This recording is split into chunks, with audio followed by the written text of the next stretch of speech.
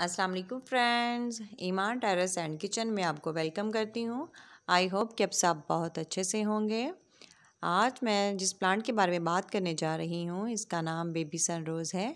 ये बहुत ही खूबसूरत प्लांट है और इस पे छोटे छोटे से सन की शेप जैसे रेड कलर के फूल आते हैं। शायद इसीलिए इसका नाम बेबी सन रोज़ रखा गया है और ये बहुत ईजी टू ग्रो प्लांट है।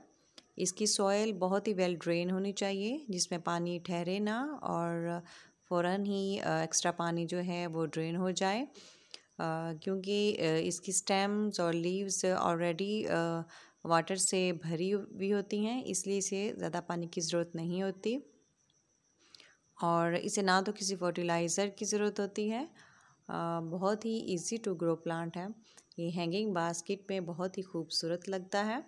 और जैसे कि आप देख रही हो मैंने इसे हैंगिंग बास बास्केट में ग्रो किया है और दीवार के साथ जो हैंग किए जाते हैं पॉट और उन मट्टी के पॉट्स में भी ग्रो किया है मैंने। प्लास्टिक के पॉट में भी मैंने इसे ग्रो किया है जो कि बहुत खूबसूरत लग रहा है।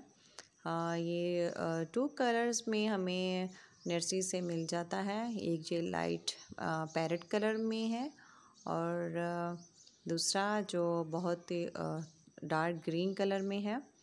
तो दोनों कलर ही मेरे पास मौजूद हैं। जैसे कि आप देख रहे हो, ये बहुत डार्क ग्रीन कलर में है और एक बहुत लाइट ग्रीन पैरेट कलर में है। तो देखेंगे इस पर जो रेड कलर के फूल आ रहे हैं छोटे छोटे से और कितने खूबसूरत लग रहे हैं।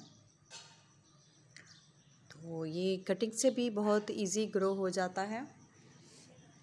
तो आ, इसकी तीन चार इंच की छोटी सी कटिंग ली थी मैंने और इसे मैंने इसे छोटे से पॉट में मैंने इसे आ, लगाया हुआ है और ये हफ़्ता दस दिन में आसानी से ग्रो हो जाती है। तो फ्रेंड्स अगर आपको मेरी ये वीडियो पसंद आई है तो प्लीज़ इसे लाइक करें शेयर करें और सब्सक्राइब करना मत भूलिएगा। अल्लाह हाफिज़।